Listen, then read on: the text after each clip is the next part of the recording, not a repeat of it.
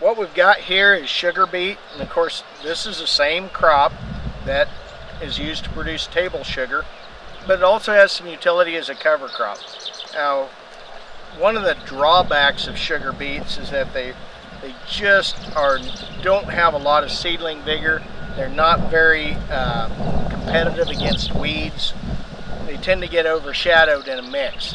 Where they really show up well is in a monoculture or with some other slow growing plants. Um, where sugar beets really shine is a couple situations. One is when you have salty soil. Sugar beets grow on soil too salty for any other plant pretty much.